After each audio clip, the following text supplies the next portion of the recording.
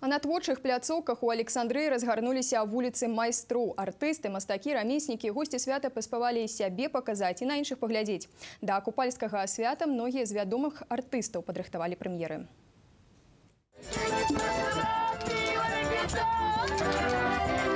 Павадзіць карагод, згуляць у народныя забавы і атрымаць прыз, паспяваць і патанчыць. Госці свята спяшаюцца, каб паспець абысці ўсю вялізную пляцоўку. Многія прыехалі на шклоўшчыну з іншых краін спецыяльна на купалле. Артысты самыя заўзятыя прыхільнікі купалля. Для іх гэта рэдкая магчымасць адпачыць на працы. Многія з іх падрыхтавалі да святочнага канцэрта, сюрпрызы і прэм'еры.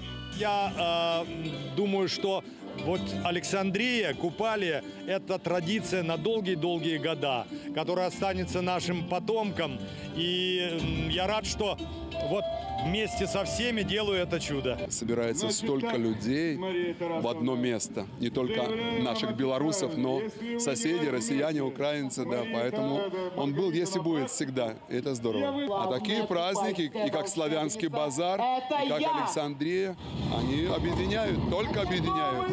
Кульмінацыяй свята стаў тэатралізаваны канцэрт, напрыканцы якога неба над Дняпром расквяцілі феерверк і лазернае шоу.